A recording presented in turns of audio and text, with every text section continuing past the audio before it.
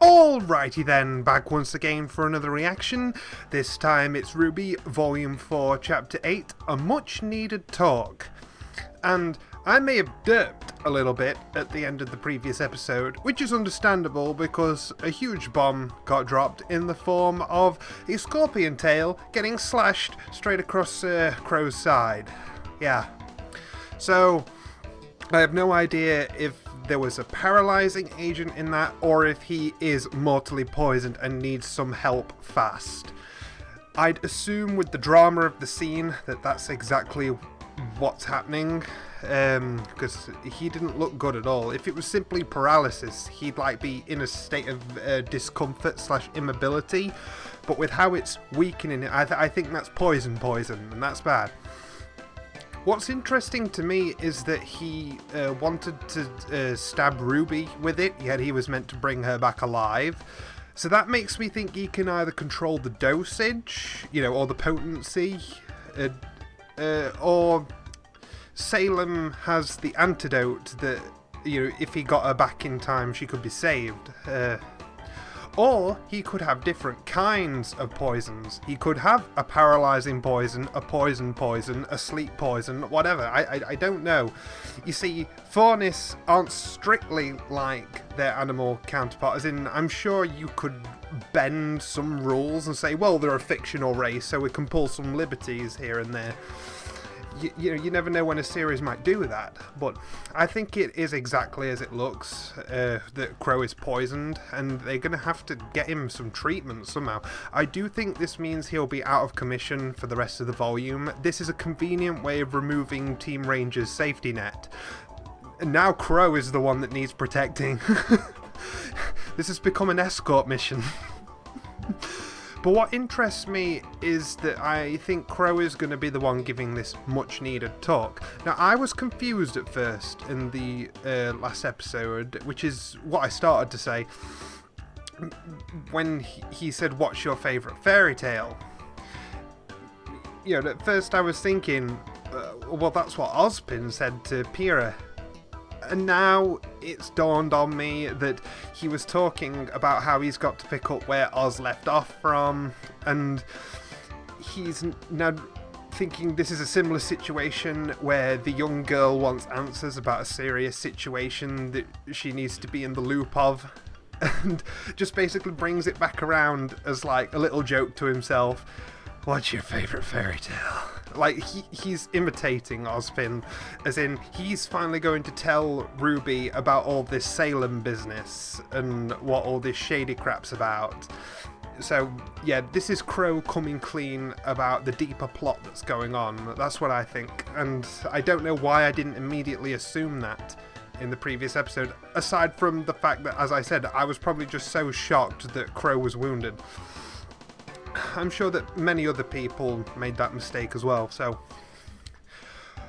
Oh, I don't even have any predictions for this. A much needed talk makes it sound like it's going to be very much focused on Qrow and RNJR, catching up and digesting what's just happened and how Qrow is going to be taken from here.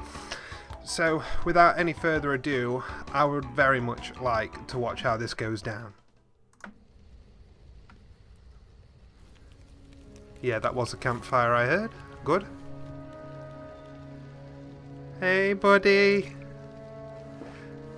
Drink away really? the pain. no questions? Of course we have questions. This is just a lot to take in. Understandable. Sure, of course. I love the lighting. So these maidens, they're powerful fighters, that don't need dust to use magic. Oh, yeah. he's telling the exact same story. Yep, always. Which means that right, right. one of them dies, the power transfers to someone. I forgot that they'd have never heard of the maidens. Whoever in their thoughts last. Important distinction. Best option, it's someone we can trust. Regardless, their souls become combined, in a way. And that's what you were trying to do to Pyrrha the night the tower fell. You were trying to turn her into one of them. The previous Fall Maiden, Amber, had been attacked. She was young, inexperienced. And her assailant, who we now know as Cinder, Oh, so somehow you certain managed excuse for how she lost. power, but not all of it. We were afraid that if we didn't do something, the rest would go to her as well. So you forced it on Pyrrha. We didn't force anything. We That's what she came to you about, gave and you didn't pick up on the context. chose. You were there. You heard her. He's got you there. I'm sorry, Jaune. It's just going to take him a while to accept it. That guy, Tyrian. Why was he after me? Because of what you did to Cinder. You definitely painted a target on your back with what you did at Beacon. I told you having silver eyes is a rare trait. And the fact that you're someone that was able to use them seems to have upset some very powerful people. Not many people know about the silver eyes, but those that do aren't very happy that one has surfaced. That's why Because it's a powerful threat. Wanted to make sure you were safe. All of you. Why not just travel with us? It seems like that would have been way easier. what He the fans were saying. bait. Look, I wouldn't put it like that. It's c- complicated. What is all of this? Ruby's being hunted. The schools are being attacked. All for what? What is the point of all of this? Will you just tell us what's going on? Would you sit down? You're stressing me out, kid.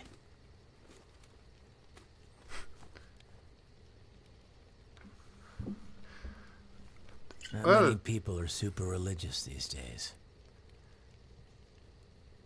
This is going about as well as I expected. This world's been around for a long time. In a Long good way. that people have created dozens of gods.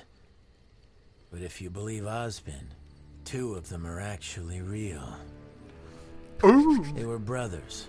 The older sibling, the god of light, found joy Uh-huh. in creating forces of life. Meanwhile, the younger brother, the god of darkness, spent his time creating forces of destruction. As you So did can he create the imagine, Grimm? They both had pretty different ideas about how things should go.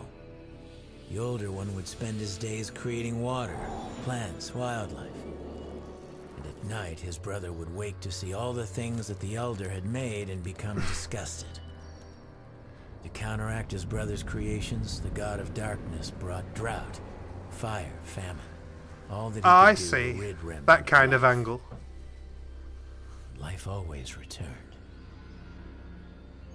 So one night, But death is a part of the circle of life. Something that shared his innate desire to destroy anything and everything. Oh, no way. Creatures of Grimm. I guessed it right out of the bat. The older brother had finally had enough. Am I the earliest? Tell me. Knowing that their feud couldn't last like this forever, he proposed that they make one final creation together.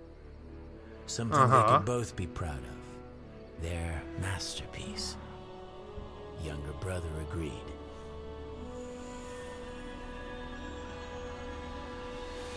And that was. This last great creation would be given the power to both create and destroy. Be given the gift of Oh, knowledge Scar. so that it could learn about itself and the world around it. And most importantly, it would be given the power to choose. To have free will to take everything it had learned and decide which path to follow. The path of light Mhm. or the path of darkness. Alignment check. And that is how humanity came to be. But what does that have to do with us? Well, that's the kicker. See, the four gifts to mankind knowledge, creation, destruction, uh-huh. and choice aren't just metaphorical. Each of them exists in a physical form, left behind by the gods before they abandoned Remnant, and each of them is extraordinarily powerful. If someone were to collect all four, they'd be able to change the world. And that's exactly what the enemy wants. The Huntsman Academies were created to train generations of humanity's protectors, but they also serve another purpose guarding the relics. When Ozpin's predecessor founded the schools, he built them around the relics to act as a fortress. Not only would they be easier to defend, but they would be constantly surrounded by trained warriors. The hope was that hiding the relics would keep mankind from using them against itself. And, of course, keeping them out of her reach. This is like another world of Remnant. I'm trying to pay attention. So, yeah, there's that. Her. You mean Salem? That's right. Not much is hmm. known about her, and quite frankly, that's not what matters. What matters right now is that she wants the relics. And if she gets them, it's not going to end well. As you said, we're all gonna die.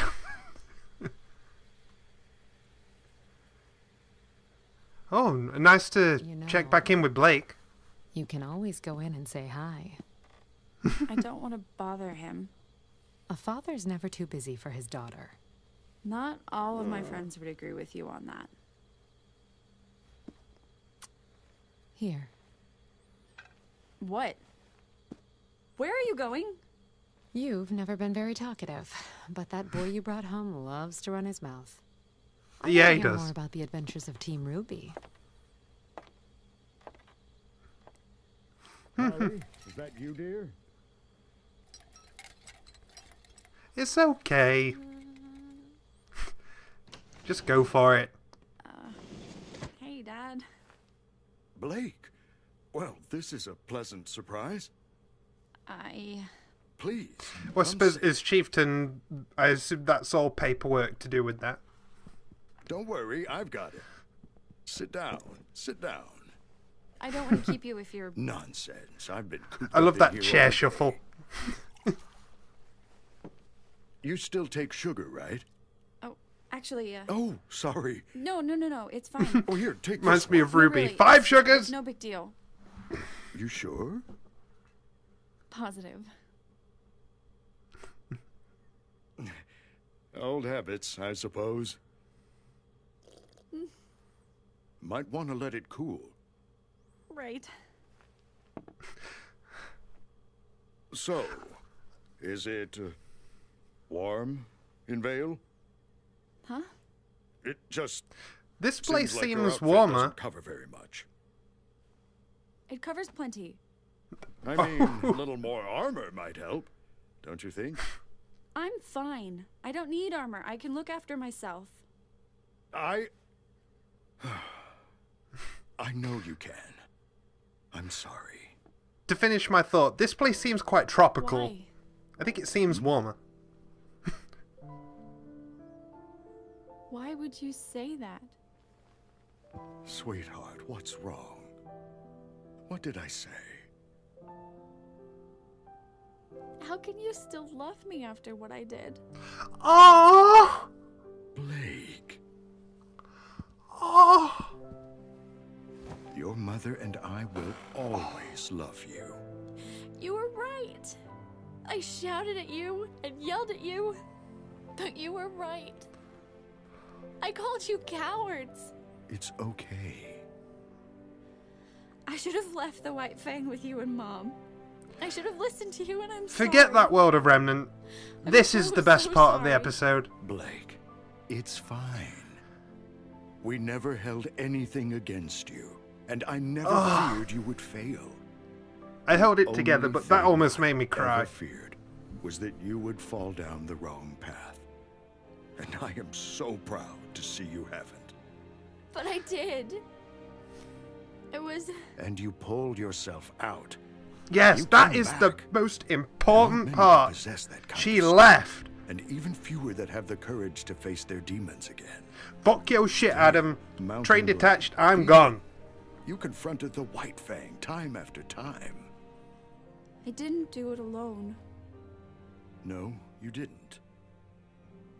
Which is why I wanted to ask you. Why did you leave Vale? Why did you leave your friends behind? You were attacked I. and threatened. Sun? Uh, whoa! this isn't the bathroom! Uh, I'm gonna be going. Sorry to interrupt You this snoop. family moment. I really don't like you. Well, Right. if it wasn't apparent before, it is now. There really is this crazy evil being behind these attacks, not just some thugs trying to become powerful. Why doesn't the world know? Why isn't Atlas going after them, or Mistral? And why aren't we in more of a hurry to get to Haven? Shouldn't we be getting them a message? What if they're next? They are The next, according to S- Salem. What happened to Beacon? He's not dumb. He'll be on his guard. Besides, it takes time to mobilize forces like that. Do you really think they planned out that attack on Beacon overnight? And to answer your question, it's the same reason we keep quiet about the Maidens. If the whole world knew about the relics, about Salem, it would be chaos. We'd have another great war on our hands, and this time, you'd have to fight.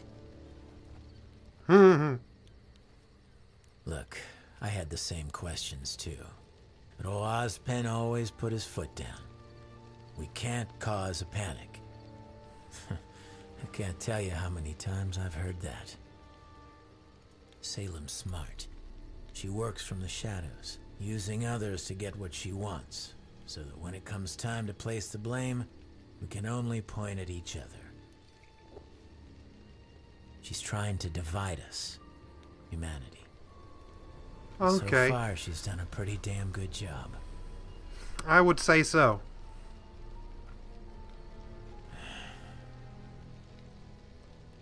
All right. So what should we do? Well, it doesn't look like the poison's attacking him any further, I which surprises really me. know. Ozpin has put a lot of trust in the headmasters. Like I said, the schools are an important part of stopping Salem. Atlas is going to be on high alert after the last attack, and Vacuo is, well, Vacuo.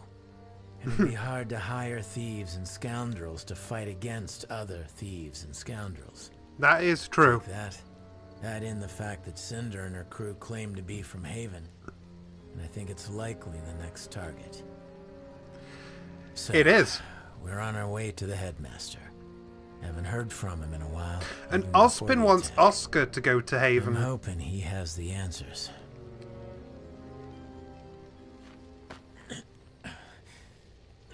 Right. I think it's time you kids got some sleep. Uncle Qrow, Yeah? this is a lot to take in. And it all sounds Hmm. crazy, but I'm willing to do whatever I can to help. Because I trust you. But why couldn't you trust me? Why couldn't you just travel with us instead of all of this secrecy and and Look, this has nothing to do with trust. I. It's a long story, okay? seriously? That will take How another guys telling us campfire. stories? Did you know that crows are a sign of bad luck? Old superstition, but it's how I got my name. See, People did talk people about this. Absorb electricity, and some people can burst into rose petals. Some people are just born unlucky. My semblance isn't like most. It's not exactly something I do. It's always there, whether I like it or not. I bring misfortune. I love this fire. I guess you could call me a bad luck charm. Comes in real handy when I'm fighting an enemy. But it makes it a little hard on friends. and Oh, Qrow. Well, you are just a real bundle of help, aren't you? Yeah. Oh, come on, Jaune. Where are you going? You're in an understandable frame of mind, but your remarks come off as Nothing douchey, wanna Tell us? which I guess is what they're going for. Not tonight.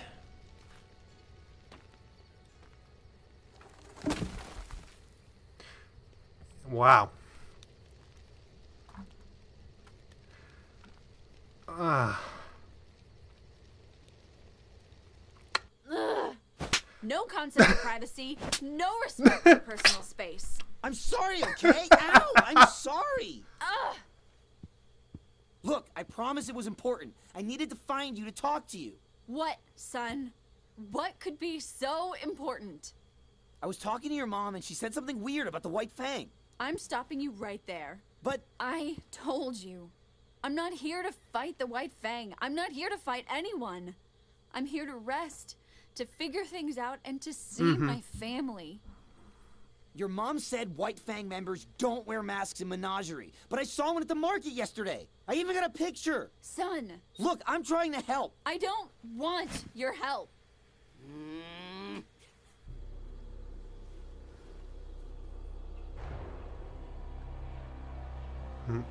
Oh, there was someone watching.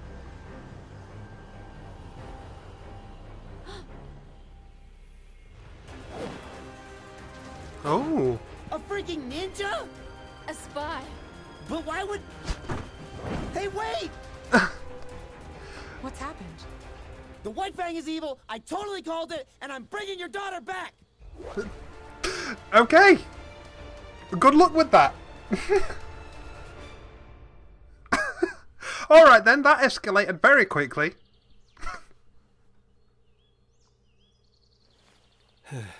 We should probably get moving. Yeah, yeah.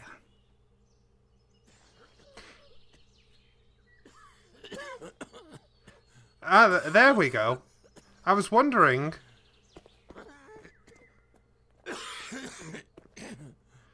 I knew it wouldn't be that simple. That is some high grade stuff.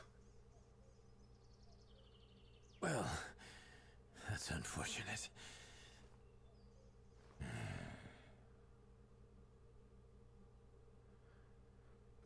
So, basically, basically, back to square one with that. This does literally nothing to tell us about his chances of pulling through or how he's going to pull through or what this means for his current condition. Every single question we asked when he initially got stung is being asked again. What? Because all this time, with him like talking so nonchalantly at the uh, camp, I-, I thought that okay, it's just knocked him on his ass for a little bit. Like they-, they managed to do whatever treatment they could, bandage him up. He's going to be fine. Now the poison's acting up, so your guess is as good as mine. What? Literally back to where we were. But aside from that, uh, it was very interesting, so so interesting to just take in that extra World of Remnant like stuff, the basic origin story, religion of the world that he's saying is true uh, because Ozpin says it's true. So that means it is true because Ozpin's wise. but wow. Uh, I agree with Ruby. That was a lot to take in, and I do comprehend it. Uh, I just haven't memorized it enough to repeat it. But it was an interesting story, and I am happy that I instantly called it the man that could create dark things. Oh, he made the Grimm, didn't he? and it and it came true. Uh, uh, what else happened? Uh, Blake. Oh, she broke my heart and then some. I, I didn't expect that. That is going to be the moment most worthy of reaction. Uh, you know, viewing other people. Th- That's what I'm most going to be looking forward to. Blake coming out with that heartbreaking question. I, I I expect to see plenty of people uh, crying over this because I, I nearly did. I because it's been like uh, the majority of a year maybe since Pyrrha died, and I had to stop my reaction to the finale. It was in the afterthoughts, but because I just started crying after processing her death. But now it's been so long it- it's like I've had a little bit of difficulty um, getting back on the same emotional investment level, and I've just been enjoying it from a storytelling and entertainment perspective. But Weiss's outburst at the dinner party uh, struck me pretty deep, and this did as well. As someone who places family very highly, that's why I love the shit out of episode 4. th- this kind of thing is right up my street. It, it's powerful and deep and striking to someone with like me, and it was so well done. And god damn it, Sun, you are funny, but you can't just ruin moments like that. Come on, come on, man, please. Uh, please, just, just, just uh, uh, keep it in your pants for five minutes and let a girl have some privacy, okay? Please.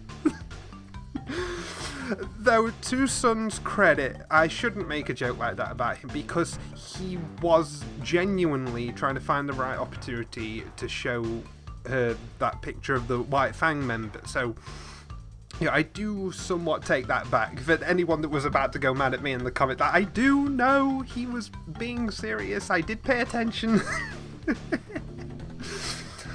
but it was I did want to like say aloud, but then because the scene switched, I was then paying attention to that.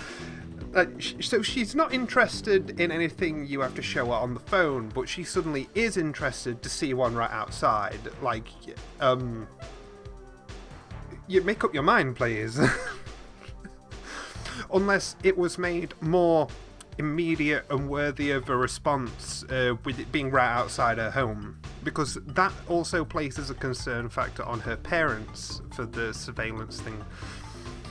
What this makes me worry about, though, especially with how uh, Fennec and his accomplice, I can't remember the name of, in episode 5, uh, said they were going to inform Brother Adam of um, the way they put it. He's not my brother. But they were going to inform Adam that Blake had come back to Menagerie. I wonder if those people are giving reconnaissance to uh, Adam uh, slash Fennec and that. Basically, where I'm going with this is: is Adam going to come looking for Blake on Menagerie? Is that why we still have Blake versus Adam in the opening? Is that what this is leading up to? Especially because she had that, oh no, please get away look on if face. She's not ready for it yet. Like, I reckon he might show up, start attacking her, and he's almost disappointed because she doesn't seem to have shown any improvement since before because she's not quite ready. So it makes her skills look dull in comparison or something. You know, one of those she has to be in the right emotional frame of mind things. They've done a similar kind of thing in One Piece, where Luffy got absolutely trashed by a villain while in a state of emotional uncertainty, but then as soon as he knew what he had to do and steeled himself to do it, he was like a hundred times stronger, so...